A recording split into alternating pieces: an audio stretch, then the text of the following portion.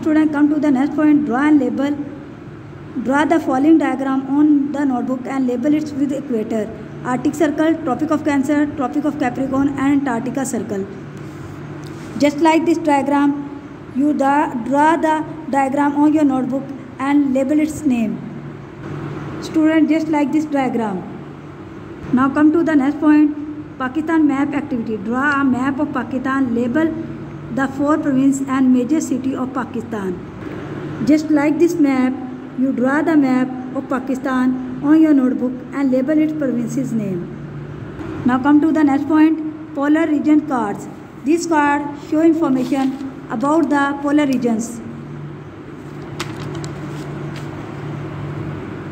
There are also some questions about the polar regions. I also underline the answer of this question.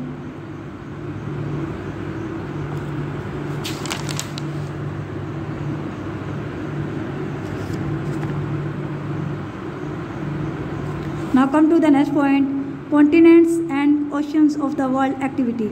Take a white paper, draw the world map that show the seven continents in different color. Just like this diagram student you draw the world map and show the seven continent of the world. Just like this map you draw the world map and show the seven continent with different color. Okay thank you